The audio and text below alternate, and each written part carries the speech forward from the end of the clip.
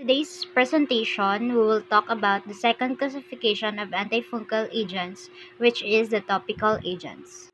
A number of agents that have antifungal activity are applied topically, either on the skin, in the ear or eye, or on mucous membranes such as the buccal, nasal, and vaginal, to control superficial mycotic infections.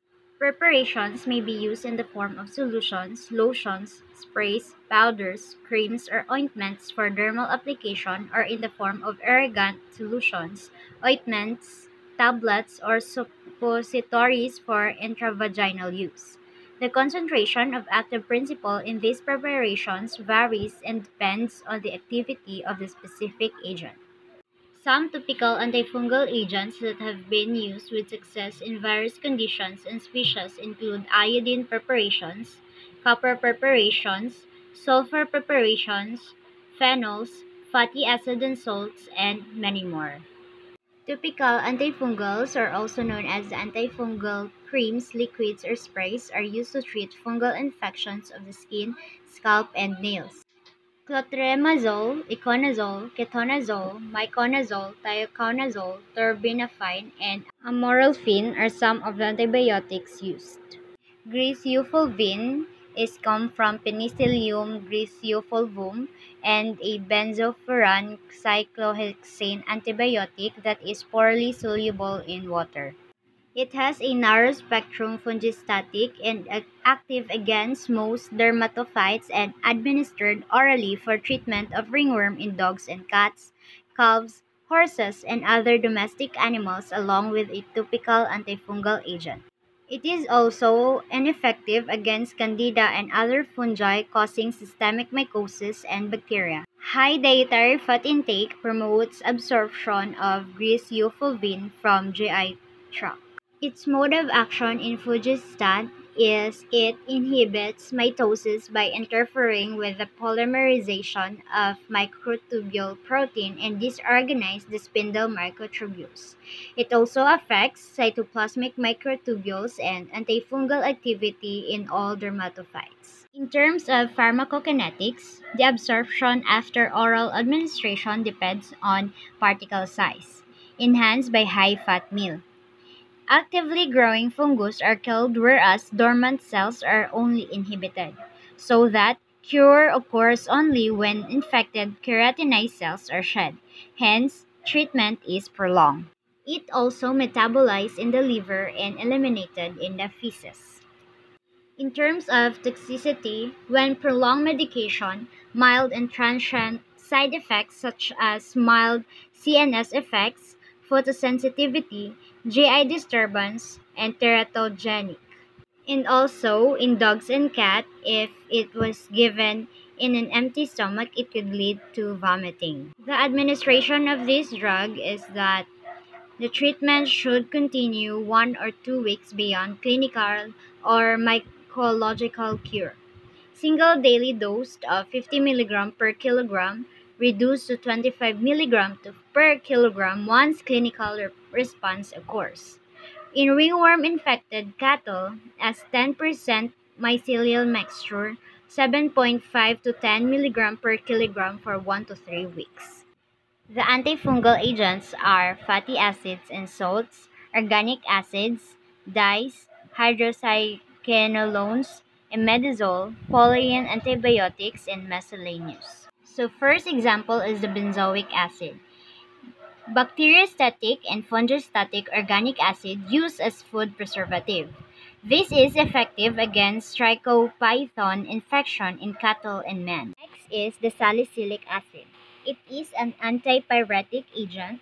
It is having keratolytic and some fungistatic effect. It softens the crust and acts on the organism thus exposed. It is suitable for typical ringworm infection.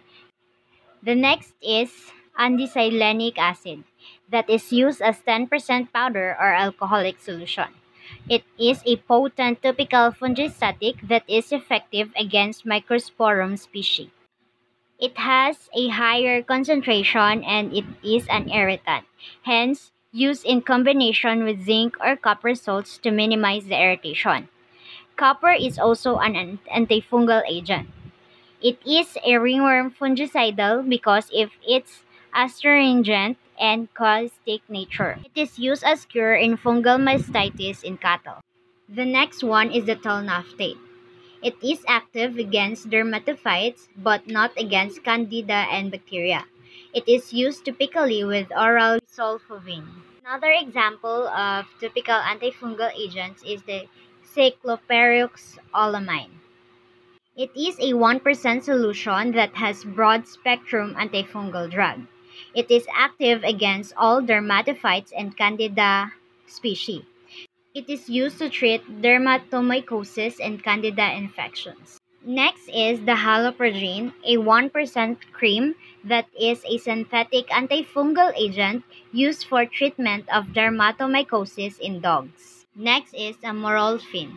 It is used to treat dermatophytosis. The next one is the terbinafine. It is occasionally used in dogs and cats typically. A 1% cream or orally. In terms of, of toxicity, it is well tolerated. Adverse effects in GI system and skin. It could lead abnormalities in liver enzymes and hematological parameters. Next is the clotrimazole, a 1% cream or lotion. It has a broad spectrum topical antifungal agent. It is a local application in mycotic keratitis and metritis in horses. 1% solution for aspergillus infections of cornea.